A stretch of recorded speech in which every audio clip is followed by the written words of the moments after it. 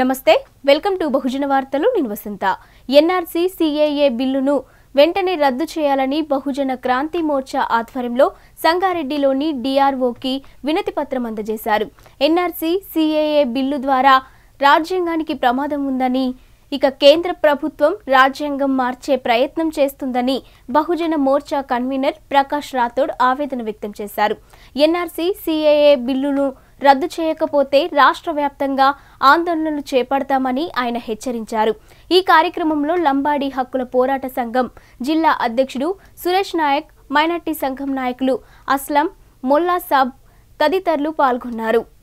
జిల్లా కేంద్రంలో ఈరోజు సిఏఏ ఎన్ఆర్సీ ఏదైతే కేంద్ర ప్రభుత్వం తీసుకొచ్చిందో చట్టం ఆ చట్టాన్ని వ్యతిరేకంగా ఈరోజు చట్టాను రిటర్న్ తీసుకోవాలని చెప్పేసి ఈరోజు అన్ని జిల్లా కలెక్టర్ ఆఫీస్ కార్యాలయంలో ఇవ్వడం జరిగింది. అదేవిధంగా ఈరోజు సంగారెడ్డి కలెక్టర్ ఆఫీస్లో మేము అందరం కూడా అన్ని సంఘాలం కలిసి ఈరోజు కలెక్టర్ గారికి డిఆర్ఓ గారికి సమర్పించడం జరిగింది. ఎందుకంటే ఈ దేశంలో రాజ్యాంగం మీద ప్రమాదం జరుగుతూ ఉంది. ఈ దేశంలో డిఎన్ఏ కార్డ్ అదే మేము ఏమంటున్నాం అంటే ఎన్ఆర్సీ బదులు ఎన్ఆర్సీ కావాలి? ఓకే. కానీ దాని మీద డిఎన్ఏ తీసుకురావాలని చెప్పేసి మేము ఈరోజు లెటర్లో రాయడం జరిగింది.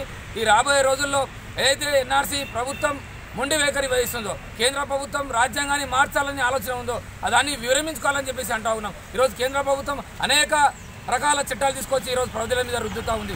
ఈ చట్టాన్ని ప్రభుత్వం వెంటనే రిటర్న్ తీసుకోకపోతే మేము పెద్ద ఎత్తున రోజు ర్యాలీ చేస్తామని చెప్పేసి ఇప్పటికే ర్యాలీ చేస్తూ ఉన్నాం ధర్నాలు చేస్తూ ఉన్నాం. కానీ ప్రభుత్వం తగ్గడం లేదు. ప్రభుత్వం ఎందుకు తగ్గడం లేదంటే ఈవీఎం మిషన్ ట్యాపరింగ్ చేసుకుని కేంద్ర ప్రభుత్వం రాష్ట్ర ప్రభుత్వాలు గెలిచా ఉన్న గెలిచినాయి. అందుకనే ఈవీఎం మిషన్ తొలగించి రండి. ఒకవేళ మీకు దమ్ము ధైర్యం ఉంటే ఈవీఎం మిషన్ తొలగించి ఇలా ఎలక్షన్లో బ్యాలెట్ పెట్టి బ్యాలెట్ విధానంతో పెట్టండి. బ్యాలెట్లో పెడితే మీ ఏ చట్టం రాత్రి రాత్రి మీకు ఈవీఎం మిషన్ ఉందని చెప్పేసి రాత్రికి రాత్రి చట్టాలు తీసుకొస్తారు. రాత్రి రాత్రికి మేము ఇంప్లిమెంట్ చేస్తారు మీకు ఇష్టం వచ్చినట్టు చట్టాలు తీసుకొచ్చి ఇలా ప్రజల మీద రుద్దా. ఉన్నారు దీనివల్ల ఏమంటారు అంటే మా మా స్నేహితులు మా రక్త బంధువులు మా కులబోలు ఏమంటారు? ఎస్సీ ఎస్టీ బీసీలు ఏమంటారు? అంటే ఇలా ముస్లిం అది ఎన్ఆర్సీ మీరు ఎందుకు అని చెప్పేసి అంటారు. కానీ వాస్తవంగా ఈ దేశం అస్సాంలో ముస్లింలు ఐదు లక్షల మందికి నష్టం జరుగుతుంది. కానీ పద్నాలుగు లక్షల ఐదు పద్నాలుగున్నర లక్షల మంది ఇలా ఎస్సీ ఎస్టీ బీసీలకు జరుగుతూ ఉంది అన్యాయం. అది అన్యాయం మనం మనందరం ఖండించాల్సిన అవసరం ఉంది. ఎస్సీ ఎస్టీ బీసీల సమస్య ఇది అందరి సమస్య. ఎవరు కేవలం ముస్లిం సమస్య కాదు. ఈరోజు దేశంలో ఏమనుకుంటారు ముస్లింలు దారి తీస్తే ముస్లింలది అనుకుంటారు కానీ ఎస్సీ ఎస్టీలు తీస్తే ఎస్సీ ఎస్టీలది అనుకుంటారు కానీ మేము అందరం కూడా కలిసి వెలిసిగా ఈ అందరి సమస్య అందరం కూడా కలిసి పోరాటం చేయాలని చెప్పేసి మేము అందరినీ కొడతా ఉన్నాం.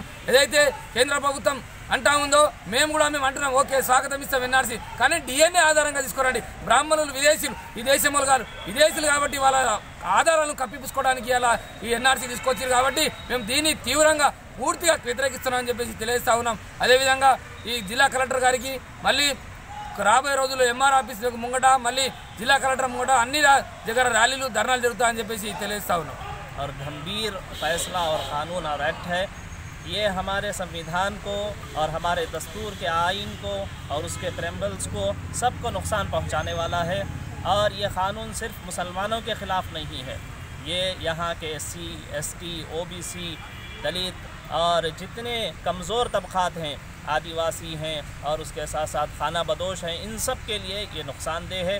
اسی وجہ سے حکومت نے سب سے پہلے چندر شیکر آزاد کو جو قید کیا، ان کو ڈیٹین کیا، یہ یہ اسی وجہ سے ہے کہ مسلمانوں کے ساتھ جو دیگر نان مسلمس ہیں، کمزور طبقات ہیں، وہ کھڑے ہو رہے تھے۔